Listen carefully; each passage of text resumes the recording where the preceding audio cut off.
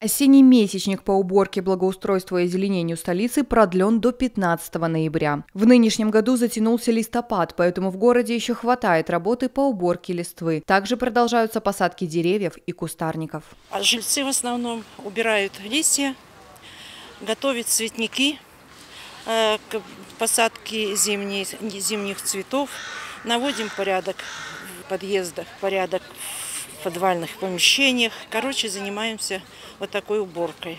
Благоустройство – это все мы создаем сами. Мир, в котором мы живем. И очень хотелось бы, чтобы этим, эту инициативу поддерживал коллектив. Очень мало таких, к сожалению, людей, которые воспринимают двор – это мой двор, и дом – это мой дом.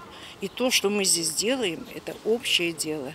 Это не, не, не вопрос какого-то одного коллектива, и тем более одного человека. Почему важно наводить порядок во дворах? Ну, потому что я считаю, что каждый житель Минска должен следить за состоянием своего двора, чтобы было чисто, красиво. Опять же, жильцы, которые будут смотреть на двор, им будет хорошо, правильно. И акция здесь проходит «Зеленый двор месяца».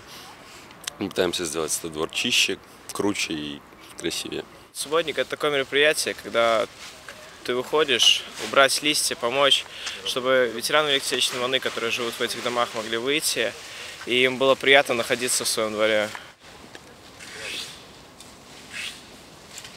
Я хочу поблагодарить людей, которые вырастили нам красивые саженцы красивых деревьев, которые помогают в озеленении дома.